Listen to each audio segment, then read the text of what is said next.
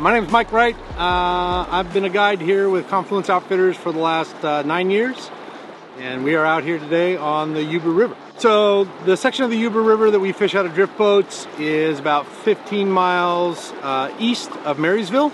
Uh, we drift down from the Highway 20 bridge down to the Daguerre Point Dam. Uh, it's got a variety of water on it. Um, we fish it uh, 365 days out of the year based on the weather. Uh, sometimes it does blow out, gets a little dirty and we have to miss it out. But for the most part, it's a fishery that uh, most people can spend a complete day on out of a drift boat. Uh, you can choose to walk and wade out of the boat. You can choose to stay in the boat and fish. And uh, it's a full day drift uh, for most people. We're about an hour and 10 minutes uh, north of Sacramento. So one of the unique aspects of the Yuba is it provides you with the opportunity to fish it in a variety of ways. Uh, most every day out here there's an opportunity to dry fly fish out of the boat or from being in the river uh, which is unique to kind of the Yuba River um, for trout and for steelhead. Uh, we definitely run our indicator rigs and indicator fishing out of the boat uh, from the top to the bottom and that can be good uh, year-round for a variety of reasons. And then uh, on an occasional day we will swing uh, some, some flies for trout and for steelhead with Spey rods and single-handed rods.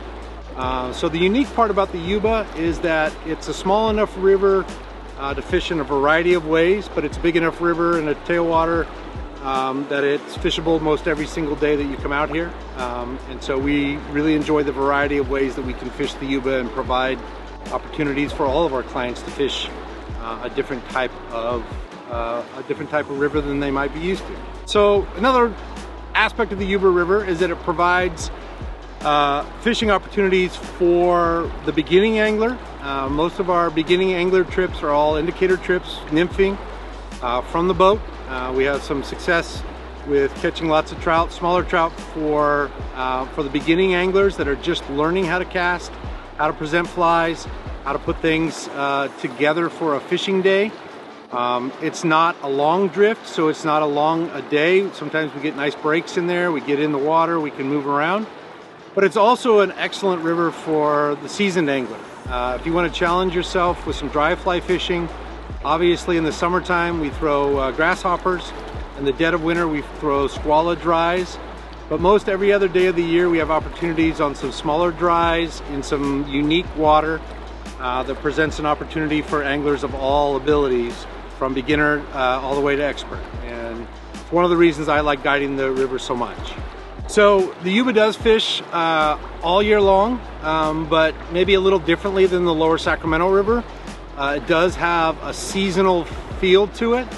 Um, in the dead of winter, it's a really unique dry fly uh, fishery, which is what a lot of my clients really are looking for. They are looking to come onto the river in the dead of December and January and February and throw dry flies for trout. Uh, in the winter season, starting in about October all the way through um, you know the beginning of March, there's a definite steelhead run that moves into the Yuba River. So my clients who are uh, sort of dialed into wanting to catch some valley steelhead spend a lot of time coming up here in the winter time and in the fall. Uh, in the spring, there's definitely a transition time in which it moves back into uh, a trout fishery and we are moving our rigs into little smaller sets of flies and more small dry fly opportunities. In the heat of summer, uh, when it gets really hot out here, the grasshoppers are our number one sort of opportunity. We take five weight rods and throw grasshoppers on every ounce of water that's out here.